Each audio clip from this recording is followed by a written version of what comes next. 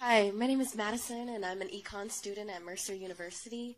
And oh, awesome! Um, so I'm gonna be a little bit mean for a second, okay? So, um, um, so you're arguably the candidate with the greatest advantage in this race. You've been the vice president. You weren't burdened down by the impeachment trials.